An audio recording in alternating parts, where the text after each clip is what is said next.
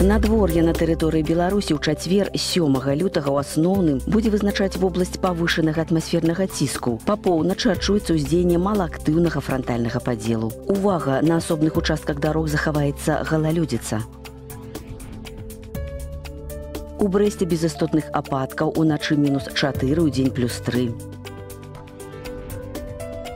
У грудні істотных ападкаў не прагназуецца ўначы мінус 4 у дзень 2 з плюсам. У віцебску часам пройдзе невялікі снег уначы мінус 8 у дзень мінус 1. У магілёве без істотных ападкаў начынае тэмпература паветра мінус 10, дзённая адзін ніжэй за 0.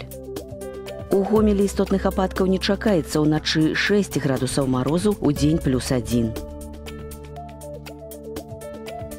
У мінску без істотных ападкаў уначы мінус 7 у дзень каля нуля.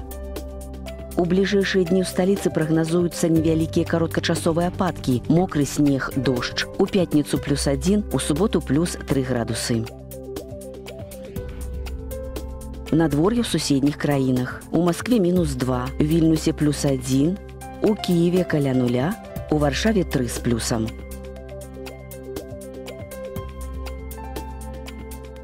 Надвор'е ў заходняй Еўропе.